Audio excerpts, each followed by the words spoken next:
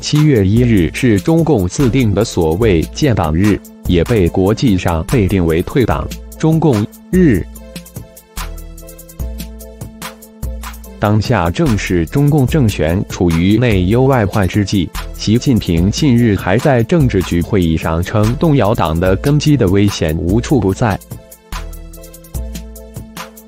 二零一二年十一月二十九日刊发于海外媒体《希望之声》的苏明的一篇旧文：“腐败透顶的团伙突然意识到腐败亡党，引起我们注意。”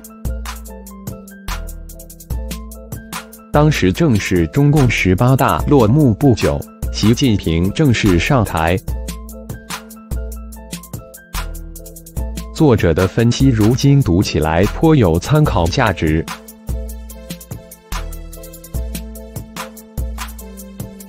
以下为全文。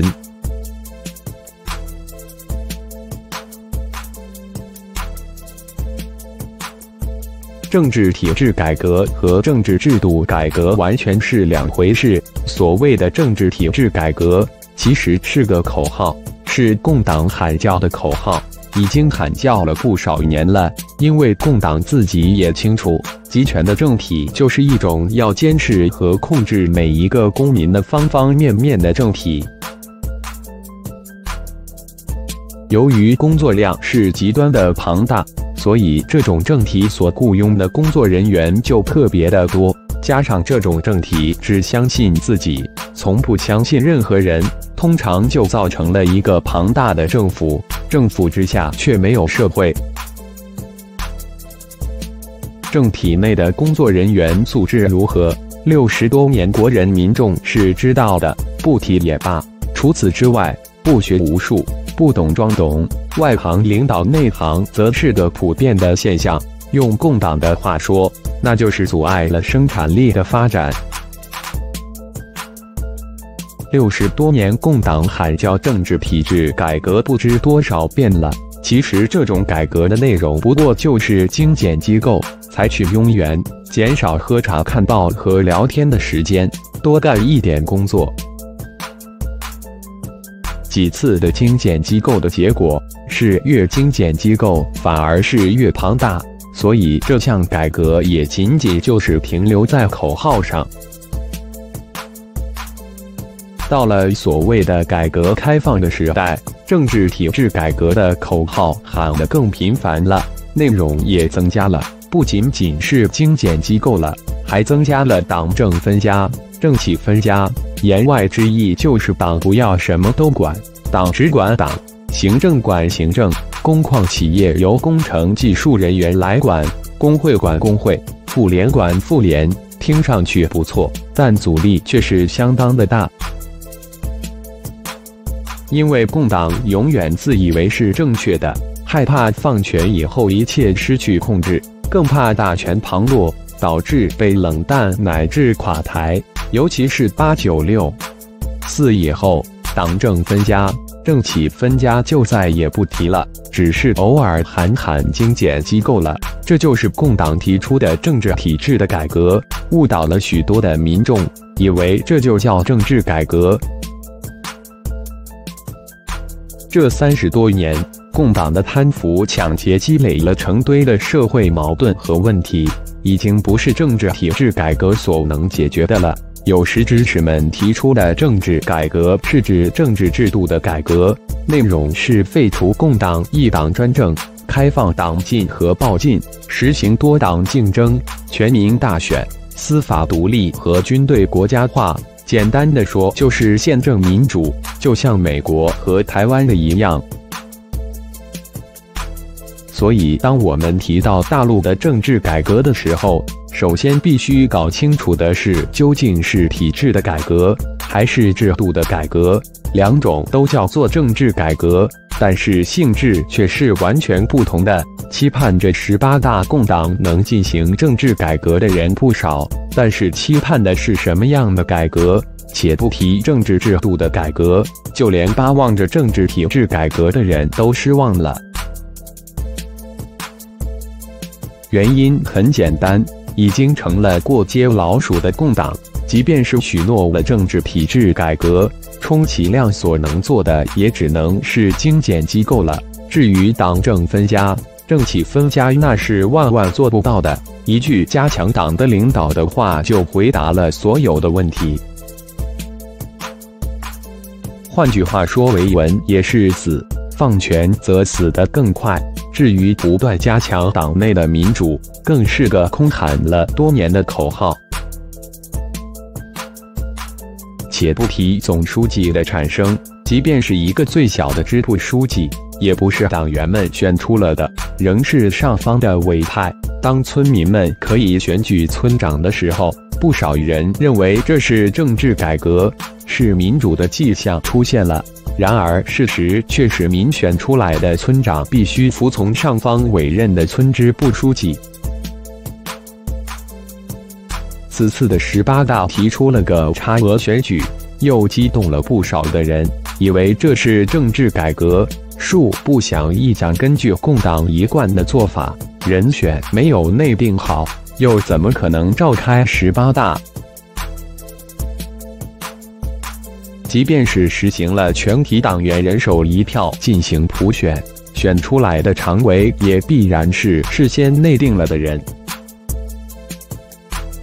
反思过去诸多事实，尤其是这次令绝大多数人失望、绝望了的十八大，无论我们情愿与否，都必须承认一个事实。那就是共党体制是一个集权的政体，实行的是集权主义的统治。与百年前的皇权专制统治不同的是，集权统治对国家、对人民所犯下的罪行更大、更广泛、更邪恶。希特勒是民选出来的，所以二战以后至今，德国人民仍在向周边的国家支付着战争的赔款。但是在中国，没有人选举过共党。共党上台不是天意，也不是天命，而是暴力的篡政。一代一代的党老板，更不是皇权家族的血统承传。皇室的家族，民间还有一个龙生九种，种种不同的说法，就是说继承大位的皇帝也是好坏不同，有昏庸的，也有中性的。也就是说，民间百姓们至少还活着，有个盼头。真的到了没有盼头的时候，也就该是改朝换代的时候了。袁世凯做了洪宪皇帝的时候，还自信地说过，至少能够传位二十代。然而八十三天后，就在全国一派讨袁的声讨声中下台了。经历过三十八年民主共和的中国大陆人民，却没有任何在集权统治下生活的经历。然后时至今日，六十多年集权治下的悲惨经历，中国人是缓慢的渐进的，但是终于觉醒和明白了，共党集权是无人性的、最残忍、最冷血的政权。这种政权既不占天时，更不占人和。党政的唯一理由，那就是永远正确。为了永远正确，就必须强制人民洗脑，钳制人们的思想言论，不惜屠杀、镇压、抄家、拘禁人民。为的是掩盖历届党老板们所犯下的种种罪恶。这种政权每存在一天。他所能做的全部的事情，就是维持这个政权不倒。这种政权最大的敌人，就是政权下的全体国人民众。他所全力对付的，也是全体的国人民众。当民怨沸腾的时候，就是这种政权最恐惧的时候。所谓的胡萝卜加大棒的政策，就是这样产生的。政权危机了。于是就提出了所谓的经济改革，其实就是放松了计划经济的条条框框，允许人们自谋生路。于是票证取消了，这是胡萝卜。当人民反贪污要民主的时候，共党的大棒就使用上来了。这就是在告诉人们，共党这个集权体制是不能碰的。所谓的政治改革，或者是体制内或体制外的改革派，所能要求的不过就只能对这种体制的修修补补。先决条件是必须要维持这个政权长治久安的大前提下的小修小补，目的是暂时缓和一下民愤。但是由于这种体制的极端僵化和腐败，即便是小修小补也不可能付诸实施。但是在宣传上必须是高调的，一段时间以后一切仍是依然故我。温家宝喊叫过几次的政治改革，本人认为这是他有感而发的喊叫。他是行政的总管，在运作这套行政机器的过程中，他确实感到了共党如同一只无处不在的黑手，时时事事处处都在干扰、阻碍，甚至在破坏。于是他才喊出了政治改革，但是他却从来不提改革什么。鉴于他是共党体制内的受益者，所以他所谓的政治改革绝对不是政治制度的改革，仍然是局限于体制内的改革，无非就是党政分家、政企分家，党不要管的太多，适当的放一些权力等等，这些都是属于体制内的讨价还价的改革。温家宝也知道这种要求在党内是通不过的，再加上经济崩溃了，体制内和社会上种种的乱象横生，为了推卸责任和哗众取宠，喊出了语焉不清的政治改革，其实质是政治体制的改革，目的仍然是保党、保政权。但是党已经成为了众矢之的，这种所谓的改革派。其实仍然是站在了人民的对立面上。哭丧着脸下台的胡锦涛再次的强调了要加强党的领导的陈词滥调，而刚上台的习近平又发表了个对十八大的九个深刻理解的讲话，都表明了一个明确的信号。那就是，即便是政治体制的改革，也必须是有利于加强党的领导，而不能有丝毫的削弱党的领导。体制的改革尚且是共党胆颤心惊、处处设防，又何谈政治制度的改革呢？真正的政治改革派是长期的、坚定的、前赴后继的、不怕牺牲的。在推动着政治制度的彻底的变革，例如八九六，四为争取民主死难的烈士们，近十几二十年出现的大批的人权维权的人士们，勇于参加和支持当地民间自发的抗暴维权斗争的千百万勇士们，几千万的被共党搞成家破人亡却又上访无路、告状无门的冤民们。因批评共党而深陷牢狱和流亡海外的志士们，近六亿的在贫困线上挣扎的庞大的人口，以及所有的良知道义尚存的理性的人士们，都完全清楚，造成中国大陆一切人权灾难的祸首就是共党。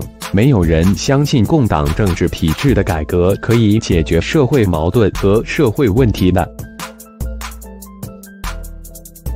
每次面对和平理性的抗争，共党派出的是全副武装的军警的镇压，从而逼迫着民间终于喊出了打倒共党、驱逐共匪的吼声。历史的经验告诉我们，每当民间发出了打倒、驱逐的吼声的时候，就已经不是当政者可以通过自身体制的改革所能自保的了。人民要求的是变革，用现代的话说，是政治制度的改变和革新。也就是说，现有的政治体制和政治制度是不得民心的，是人民反感和痛恨的。人们更清楚的是，体制的彻底腐败，更是使得这种体制根本不可能进行自身体制的改革。腐败已经使得共党和占山为王的土匪们不能相比较了。土匪们笑聚山林，通常打出的旗号或者是个“一”字，或者是替天行道，或者就是均田地、均富贵、这些口号都有着切实的可行性和可操作性，于是也就具有了可信性。这一点就比共党的云山雾罩的共产主义和特色社会主义实际了不知多少倍。山寨里执行的是大碗喝酒、大块吃肉、大秤分金银的政策。从这里至少可以看出的是，利益均沾，人人有份，并不存在黑箱作业和贪污腐败。这又是共党所不能比的，因为分赃是公开的。这就多少表现出一些公平或者是公正性，所以山寨里就不太可能出现因分赃不均而剑拔弩张，继而形成了林立的利益团伙，自相火并。所以山寨基本上能够形成一个整体，一致对外，行动一致。十八大之前和之中。所传出的消息和给人们的印象，无一不是内部是重重的矛盾，全争内讧的你死我活，共党内部的黑箱作业毫无公正和公开可言，加上贪婪的个人私欲的疯狂膨胀，形成了众多的利益之争的团伙。共党这个团伙再也不会是一个整体了，行动上也不可能是一致的了。内部尚且是你死我活的乱象横生，一个为了利益而腐败的烂透了的团伙，突然意识到了腐败亡党。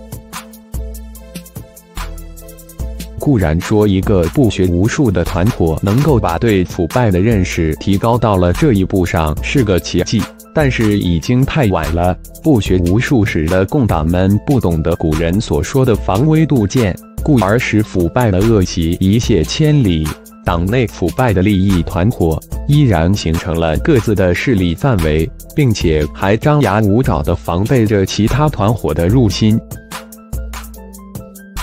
习近平仅代表的是太子党们的利益团伙，而李克强被说成是代表团派的利益团伙。但是鉴于胡锦涛在十八大上的最后的惨败，多少也说明了。所谓的团派的惨败，所以说李克强也仅仅是代表他自己了。除非他再去投靠某个团伙，否则的话，他是谁也不代表的。至于其他五个人，都是在代表着自己所在的团伙的利益。仅仅在这七个人之间，就存在着利益的较量和冲突。一个自称是集体领导的体制，其核心的七个人都无法取得一致的主张，再加上自身的不干净，又如何能够团结一致去反对党内的腐败呢？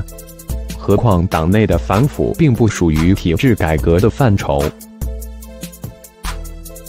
十八大之前，习近平说要保持党的纯洁性和先进性，这句话就清楚地表明，这不是政治体制的改革，而是清党，是对党内进行整肃，也可以说成是由于共党恶行累累、名声太坏，为了自保所要进行的一次内部的修整。话是这样说，但是腐败已经使得共党无法纯洁了。何况共党从来也没有先进过，共党的出现只是在开着历史的倒车。假如万一习近平的清党和反腐搞成功了的话，只要共党仍然坚持一党专政、不开放党禁报禁、司法不独立、军队仍归党管的话，中国大陆的社会仍然是在倒退之中，与先进和文明仍将是越来越远。政治改革的目的是要首先了解国人民众们想要生活在一个什么样的政治制度之下。至于打倒共党、驱逐共匪、推翻共党一党专政等等，都不是中国人的终极目标。真正的目标是中国人想要建立一个什么样的政治制度。打倒、驱逐、推翻，仅仅是为了达到这个目的的必要手段。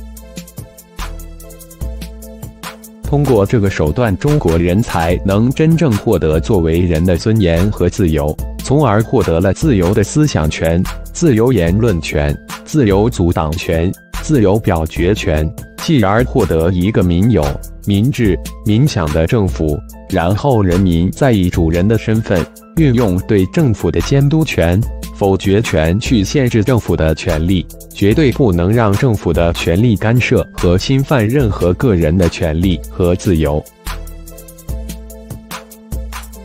这些就是远在美国、近在台湾正在运作的政治制度，也就是宪政民主的政治制度。从历史发展的眼光去看，没有人会说这种制度是好的，将来会有好的制度。但是在现在的历史阶段上，我们只能说宪政民主制度是最不坏的政治制度，而集权、独裁、专制则是最坏的政治制度。二十多年前，苏联和东欧国家人民的革命就是要摆脱最坏的政治制度。建立起现历史阶段最不坏的政治制度。去年和今年的中东、北非国家人民的革命也是如此，满脸流血大喊“不要开枪”的卡扎菲，还是被开枪打死了。但是打死他不是利比亚人民起来革命的目的。目的是要建立宪政民主的政治制度，打死卡扎菲是对他罪恶的清算，是达到目的的过程中的一个手段，一个插曲。